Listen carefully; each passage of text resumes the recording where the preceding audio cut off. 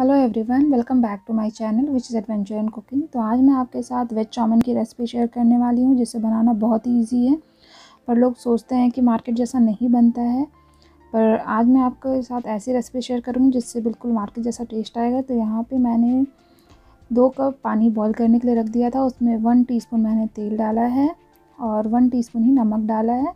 तेल डालने से चाउमिन बहुत खिले खिले बनते हैं तो वो जब भी इसमें पानी में अच्छा सा एक उबाल आ जाए, तभी आप इसमें डालें, ठंडे पानी में चाउमीन ना डालें।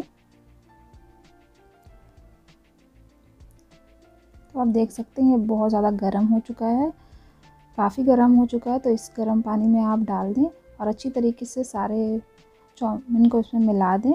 और देखिए, दो से तीन मिनट में अच्छी तरीके से उबल जाता है। ये देखिए, अगर आप तोड़े और इस तरीके से टूट रहा है तो आपकी चाउमीन रेडी है और ये ट्रांसपेरेंट भी हो गई है। तो ये भी आप पहचान सकते हो कि ये रेडी हो चुकी है तो हम इसे निकाल कर अच्छे से ठंडे पानी से धो लेंगे।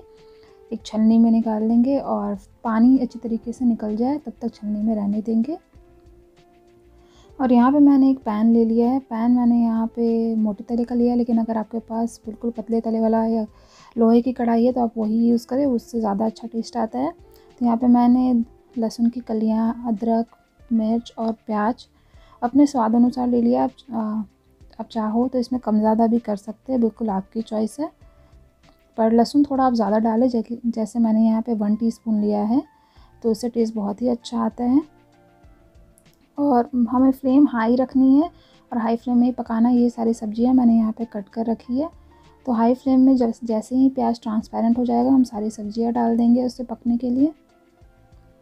आप अपने पसंद की सब्ज़ियाँ भी ले सकते हैं, इसमें गाजर भी ऐड कर सकते हैं, पनीर भी ऐड कर सकते हैं।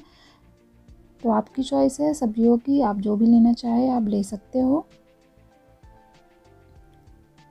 और मैंने यहाँ पे थोड़ा सा नमक डाला है, बिल्कुल हाफ़ टी स्पून और यहाँ पे मैंने स्प्रिंग अनियन डाला है। और इससे लगातार चलाते रहेंगे हम। और फ्लेम हमें हाई रखनी है, याद रखिए। और ये देखिए, इस तरीके से जब तक तो अच्छे से गोल्डन ब्राउन हो जाएगा तो हम सारे चाउमिन इसमें ऐड कर देंगे और पानी जो है सारा निकल चुका है। चाउमिन में बिल्कुल भी पानी नहीं होना चाहिए।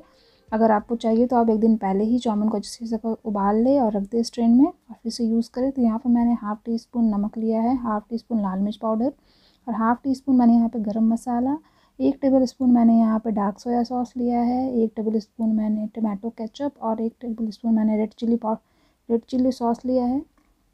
और एक टीस्पून मैंने यहाँ पे विनेगर और यहाँ पे मैंने बिल्कुल half tea spoon Schezwan sauce लिया था। या सेजवान चटनी भी आप इसे बोल सकते हैं और इसे अच्छी तरीके से मिला लें। आप कोशिश करें कि इसमें बिल्कुल पतले तले वाले बर्तन का यूज़ करें, उससे और भी अच्छा टेस्ट आता है।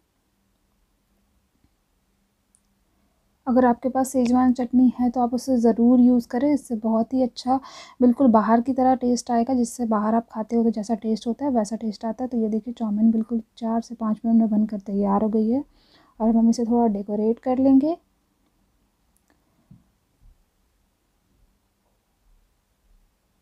और डेकोरेट करने के बाद हम इसे सर्व कर देंगे। तो ये देखिए, चाउमीन बनकर तैयार हो गई कितनी जल्दी बनकर तैयार हो गई आपने देखा। तो इसे घर पर ज़रूर ट्राई करें और यकीन मानिए आपको बिल्कुल भी कमी नहीं खलेगी कि आप घर पे खा रहे हो, आपको बिल्कुल लगेगा कि आप बाहर की चाउमीन बनी हुई जो है वो खा रहे हो। तो बहुत ही अच्छा टेस्ट आता है एंड आई होप आपको मेरी ये वीडियो पसंद आई हो। अगर आपको मेरी ये वीडियो पसंद आई हो तो मेरे वीडियो को लाइक और चैनल को सब्सक्राइब करना ना भूलें और मेरे आगे आने वाले सभी वीडियो के अपडेट्स के लिए बेल आइकन को भी ज़रूर दबाएँ।